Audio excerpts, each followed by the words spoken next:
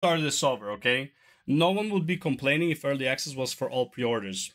So I remember, because I grew up on playing video games, when pre-orders just became a thing and people were fuming about it.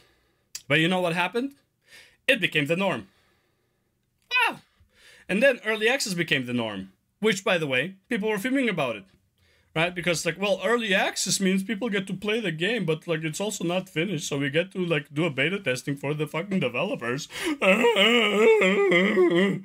Cry me a fucking river, okay? Fucking idiot gamers, bro, living in the fucking in the fucking bubble that the world owes them anything, okay?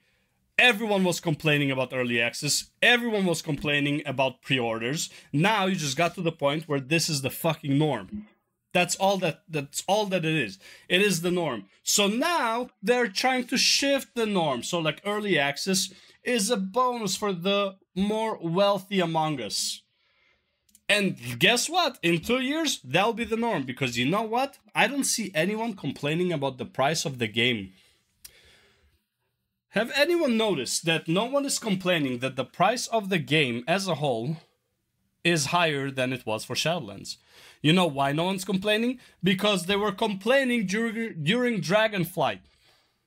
But that's now the norm.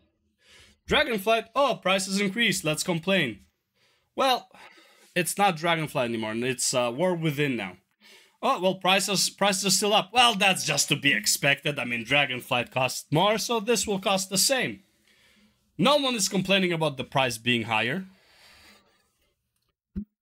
Get fucked. You are the problem. You are the one setting the standard. For all I care, wow, they can charge two hundred dollars for WoW. If people are buying it, that's their problem. like that's how it is. Jesus Christ. Okay. Once once he grows up and pays rent and taxes, maybe then he can try to voice his opinion. That he will have time to farm gold by that point. So, funny enough, um during Legion and some of BFA, most of BFA actually, I actually did rent out. I actually, I'm still paying taxes. What the fuck? I I've always been paying taxes since like fucking graduation, basically. Even before that, I think I don't remember when you start paying taxes, but I've been paying taxes for a, a while. I had rent, I had taxes, I had a girlfriend, I had expenses. You know what I didn't have? Issues of making gold in WoW because it didn't take extra time out of my day because I would play on a regular schedule and I would still be able to get the BOEs to sell. So get the fuck out of here with this whole mentality. It's like, oh, if he was in my situation. No, you fucking adapt. You're a human being. You're good at adapting. Fucking adapt to the circumstances.